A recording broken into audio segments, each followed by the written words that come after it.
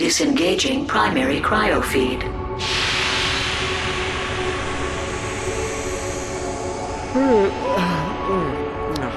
Clank, get the light, would ya? Ratchet & Clank All For One is the 10th iteration of the famous Ratchet & Clank series from Insomniac Games. This game comes two years after A Crack in Time, and focuses more on four-player co-op action, rather than the traditional single-player platform style that we're used to. With that being said, is the latest instalment of the Ratchet & Clank franchise as credible as its predecessors? Air taxi in order to catch up to this.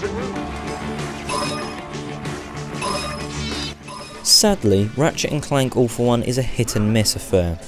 Whereas A Crack in Time and several other Ratchet & Clank titles offered both large and impressive levels for you to explore, All For One is mostly a linear action game with the only one obvious path for you to follow.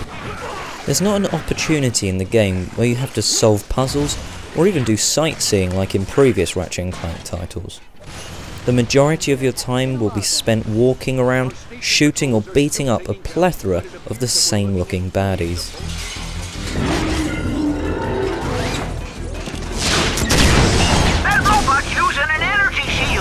Another thing that may prevent people from liking the game is the camera angle.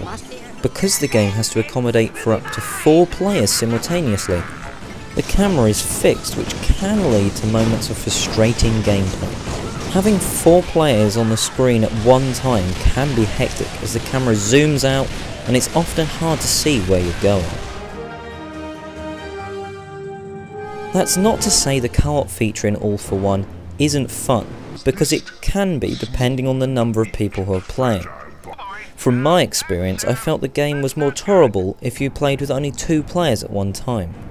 The camera is more stable with only two players, and it's much easier for you to work cooperatively. Another railway station at the foot of the cavern. In terms of playing online or offline, I recommend you playing offline instead. This is because many bugs occur when you're playing online. Although the game thankfully doesn't suffer much lag, there are often times when the game doesn't load up the next area. On more than one occasion, the task was to pick up an energy bulb and chuck it at a door to proceed to the next area. This was achievable when I was playing offline, but on the same area online it didn't work. The game wouldn't allow me to pick up the energy bulb, so I couldn't proceed to the next area. The only thing you can do is reset the game and start all over again, which is painfully annoying at times. So fast, Nefarious. You've done some underhanded things in your time, but this beats all. I'm starting to think there may not even be an Intergalactic Tool of Justice award. The one thing For One does correctly is that it retains the humour that is reminiscent of the entire series.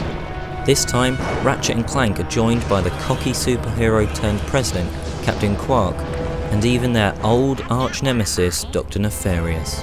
The witty banter that happens between the four is quite funny, and will make long-term Ratchet and Clank fans smile.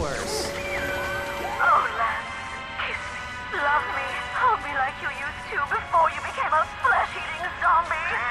Qwark, would ya?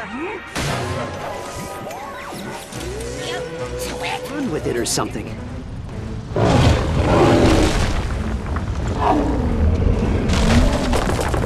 All in all, Ratchet and Clank All For One is not an excellent follow-up to the critically acclaimed A Crack in Time which came out just two years ago.